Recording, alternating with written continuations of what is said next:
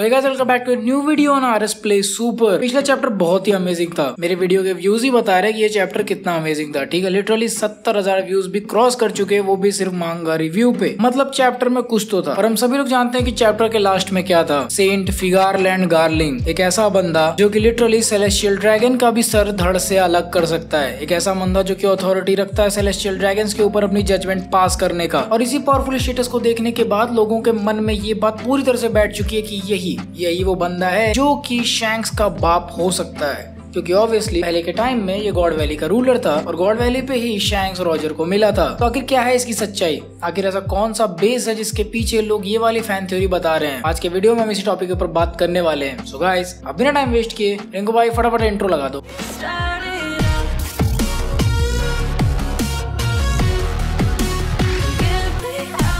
The Figarland family अबोडा sense ने family tree की लाइनअप में एक और नाम घुसा दिया है, जो कि है फिगारलैंड एंड एक चीज़ याद रखना whenever there is a family involve इसका सीधा मतलब एक बहुत ही स्ट्रॉन्ग और बहुत ही इन्फ्लुएंशियल लोग उस फैमिली में बिलोंग करते हैं। चाहे मंकी डी फैमिली को देख लो या फिर गोल्ड डी फैमिली को देख लो। एंड अभी तो रिसेंटली जोरो की भी फैमिली को रिवील कर दिया गया, जिससे पता चला कि जोरो का कनेक्शन शिमोत्सुकी से है। तो अगर आपने वो वाली वीडियो नहीं देखी है तो आप वो भी जाके देख सकते हो। बट यहाँ पर बात आ जाती है कि आखिर फिगारलैंड फैमिली कौन है? तो अगर आपने मेरी मांगा रिव्यू देखी होगी तो अब मैंने आपको बताया था कि फिगारलैंड फैमिली एक्चुअली में एक नोबल ब्लड लाइन को बिलोंग करती है, यानी कि सेलेशियल ड्रैगन वाले ही ब्लड लाइन को बिलोंग करती है। यहाँ पर फिगारलैंड गार्लिंग एक्चुअली में गॉड वैली का रूलर हुआ करता था before the destruction of the island वैसे तो इस फैमिली के बारे में हमें फ़िल्म रेड में ही हिंट मिल गया था बट जब तक ओडा सेंसे अपनी ओरिजिनल मांगा में चीज़ें कंफर्म ना कर दे, तब तक उन पे विश्वास करना थोड़ा सा हमारे लिए मुश्किल हो जाता है, क्योंकि नॉन कैनन मूवीज़ पे ज़्यादा ध्यान नहीं जाता। फ़िल्म रेड में हमने फाइव एल्डर्स के मुँह से पहली बार फिगारलैंड फैमिली के बारे में सुनने को मिला था, जहाँ पर उन्होंने बोला था कि maybe Shanks same Figarland family से बिलोंग करता है और क्योंकि उसने ऊटा को अडॉप्ट किया है तो ऊटा भी उसी फैमिली से हो सकती है। और यहाँ से कुछ ऐसी चीज़ों के जवाब मिलते हैं जो कि बहुत ही कॉन्ट्राडिक्टिंग है। सबसे पहली बार वर्ल्ड गवर्नमेंट को नहीं कंफर्म है कि शैंक्स फिगारलैंड फैमिली को बिलोंग करता है। मतलब उसके सेलेस्टियल ड्रैगन होने के चांसेस बहुत ही ज़्यादा ज़ीरो हैं फ़िलहाल के लिए। उसके बाद अगर उनके हिसाब से ऊटा फिगालैंड फैमिली को बिलोंग करती भी है तो वो उसको एक्सिक्यूट करने का ऑर्डर नहीं दे सकते। क्योंकि अगर हम ये बात लेके चले कि शैंक्स को वो लोग सेलेस्टियल ड्रैगन मान के उसकी बात सुनते हैं तो सिर्फ़ इस हिंट पे कि ऊटा फिगालैंड फैमिली को, यानी कि वर्ल्ड नोबल फैमिली को बिलोंग कर सकती है। उसको मारने का ऑर्डर नहीं दिया जाता। यहाँ से मुझे एक चीज़ तो समझ में आ रही है कि शैंक्स फिगारलैंड फैमिली को बिलोंग नहीं करता करंट प्रोडिक्शन के हिसाब से। अभी ये दोनों मेंबर्स कंफर्म नहीं किए गए थे मूवी में कि ये दोनों फिगारलैंड से बिलोंग करते हैं या नहीं। बट फाइनली चैप्टर नंबर 1086 में ओडा सेंसे ने एक कंफर्म मेंबर दिया है हमें फिगारलैंड फैमिली से, जिसका नाम है फिगारलैंड गार्लिंग और ये बंदा आते ही इंटरनेट हिला दिया। इस बंदे को सभी के सभी शैंक्स का बाप समझ रहे हैं, पर क्यों? ओडा सेंसे ने ये चीज़ कंफर्म नहीं करी है। और सभी के सभी लोग पागल हो रखे कि भाई शैंक्स का बाप आ गया यही था गॉड वैली का राजा, और शैंक्स भी गॉड वैली पे मिला था, यही असली माल है। देखो, बाकी एनिमे का तो नहीं पता, लेकिन जितना मैंने वन पीस देखा और पढ़ा मैं कह सकता हूँ कि ये बंदा जिसे हम शैंक्स का बाप समझ रहे हैं, वो शैंक्स का। अपने आका गामिनो शैंक्स, द योंगो शैंक्स का बाप तो हो ही नहीं सकता। हाँ ये शैंक्स का कोई रिलेटिव हो सकता है बट शैंक्स का बाप ये नहीं हो सकता। एक बार को मैं रॉक्स को शैंक्स का बाप मान सकता हूँ बट फिगारलैंड गार्लिंग ये ओडा सेंसे का स्टाइल नहीं है। क्योंकि ये बहुत ऑब्वियस लगता है ना सुनने में। फिगारलैंड गार्लिंग जो कि एक स्ट्रॉन्ग बंदा था, जो कि गॉड वैली का रूलर था। जिसने रॉजर गाब के साथ मिलकर जीवैक से फाइट किया था, और क्योंकि शैंक्स उसी सेम आइलैंड पे मिला था तो ये डेफिनेटली फिगारलैंड का बच्चा हो सकता है। कुछ जाते ही इजी प्लॉट लग रहा है, ऐसा जल्दी ओडा सेंसे नहीं लिखते। क्योंकि अगर मैं जोरो की बात करूँ, उसको सब लोग शिमोत्सुकी समझ रहे थे बट एक्चुअली में वो रोरोनोआ फैमिली से बिलोंग करता है। उसकी मम्मी शिमोत्सुकी से थी बट उसका जो ब्लड लाइन है वो रोरोनोआ फैमिली से। लेकिन अब थोड़े एक्चुअल पॉइंट्स पे आ जाते हैं कि आखिर क्यों? क्यों ये बंदा शैंक्स का बाप नहीं हो सकता?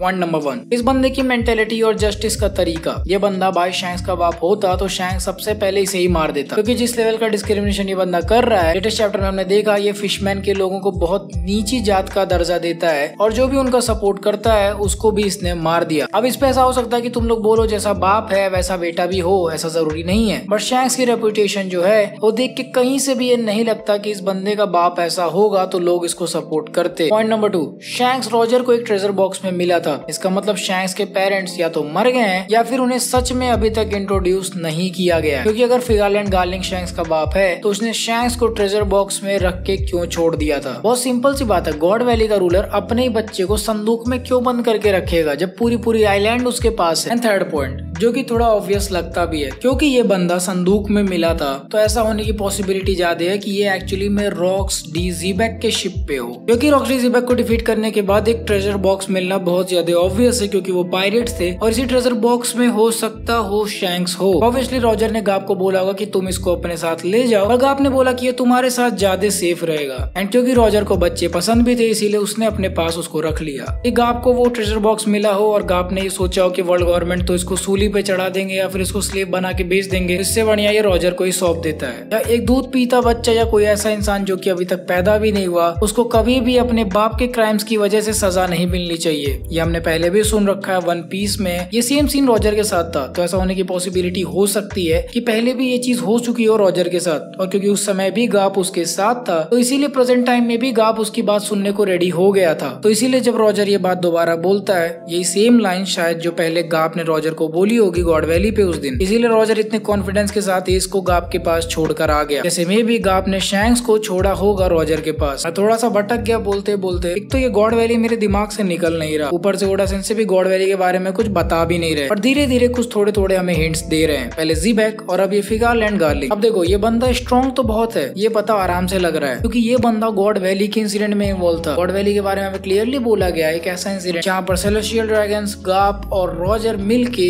रॉक्सटी जीबे के क्रू से फाइट कर रहे थे। टोटल अभी आज के टाइम में दो नॉन कन्फर्म्ड और एक कन्फर्म मेंबर हमें मिल गया फिगारलैंड फैमिली का। नॉन कन्फर्म में ऊटा जो की फ़िल्म में हमें बताया गया था कि फिगारलैंड फैमिली से हो सकती है, और वहीं से सबको ये लगता है कि शैंक्स का कनेक्शन है ऊटा से और फिगारलैंड फैमिली से। मे भी आने वाले कुछ चैप्टर्स में हमें और भी डिटेल्स गॉड वैली पे देखने को मिलेंगी, क्योंकि ये बंदा जो कि फिगारलैंड गार्लिंग है, जिसे गॉड वैली का चैंपियन बुला रहे हैं फैंस क्योंकि इस मरी जो है इस पे बहुत बड़ी बुकमरी आने वाली है। ड्रैगन ने सारा हिसाब बंद कर दिया है। मैंने बोला था ड्रैगन सब कुछ सुन रहा है। और इसीलिए उसने बहुत बढ़िया प्लान बनाया, सारा हिसाब ही कट कर दिया वहाँ पे। तो इस समय हो सकता है बहुत जल्दी कोई सिविल वॉर देखने को मिले। यहाँ पे एक्चुअली फिगारलैंड गार्लिंग एक बहुत ही इंपॉर्टेंट कैरेक्टर वहाँ पर होगा। क्योंकि सेलेस्टियल ड्रैगन चलो भले ही फिगारलैंड गार्लिंग उनको एक्सिक्यूट कर सकता है बट ऐसा नहीं की वो हर सेलेस्टियल ड्रैगन को मार देगा राइट अगर ऐसा कुछ होने लगा तो मरी जो में बहुत उल्टा पुल्टा मामला होने लगेगा और मैटर आउट ऑफ़ कंट्रोल जा सकता है, जो की वर्ल्ड गवर्नमेंट कभी नहीं चाहेगी। तो इसलिए रेवोल्यूशनरी आर्मी ने जो कुछ भी किया है, आने वाले टाइम में हमें फिगारलैंड गार्लिंग दोबारा देखने को मिलने वाला है। और फिर वहीं पे हमें गॉड वैली के बारे में और भी काफ़ी सारी चीज़ें पता चलेंगी कि आखिर गॉड वैली कैसे डिस्ट्रॉय हुआ था उस टाइम में और क्या वो फाइट के जस्ट बाद डिस्ट्रॉय हो गया था या फिर उसे कुछ टाइम बाद डिस्ट्रॉय किया गया था, क्योंकि according to the One Piece history Kaido को भी अपना डेविल फ्रूट वहीं कहीं आसपास में मिला था और बिग मोम ने उसे वहीं पर खिलाया था। तो इन सारे इवेंट्स को भी जानना बहुत ज़रूरी है करंट इवेंट को समझने के लिए, क्योंकि अभी भी वेगा पंक एक वेपन का यूज़ करके इमू ने एक दूसरे आइलैंड को तबाह किया था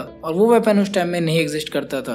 तो बेसिकली पूरा का पूरा गॉड वैली इंसिडेंट एंड ये फिगालैंड फैमिली बहुत ज़्यादा इंपॉर्टेंट है आगे आने वाले चैप्टर्स में। और ये जानना भी बहुत ज़्यादा ज़रूरी है कि आखिर क्यों वर्ल्ड गवर्नमेंट शैंक्स की बात मान रही है? वेल well, इतने सारे सवालों का जवाब हमें अभी तो नहीं मिलने वाला। Let's wait for another 50 60 chapters and फिर धीरे धीरे ये सारी चीज़ें रिवील हो सकती हैं। मे बी यार आप लोग को मेरी ये वाली छोटी सी फ़ैन थ्योरी वीडियो और एनालिसिस वीडियो कैसी लगी? मुझे कमेंट सेक्शन में ज़रूर बताओ। और आप लोग को क्या लगता है फिकाल एंड फैमिली के बारे में? ये भी मुझे कमेंट सेक्शन में ज़रूर बताना। जिसका कमेंट मुझे अच्छा लगेगा मैं उसको पक्का पिन कर दूँगा। तो अगर आप लोगों ने जोरो वाली वीडियो नहीं देखी है तो वो जाके देख सकते हो। और अगर आपको लाइव एक्शन के बारे में और भी बहुत कुछ जाना जैसे की आखिर ये लाल बंदा कौन है जोरो फाइट कर रहा है तो उसके लिए आप मेरी लाइव एक्शन पर रिव्यू को चेकआउट कर सकते हो। वहाँ पर मैंने बहुत अच्छे अच्छे पॉइंट्स को डिस्कस किया है। खैर, मैं आप लोगों को सुनूँगा अगले वीडियो में सुनते नेक्स्ट वीडियो प्ले ऑन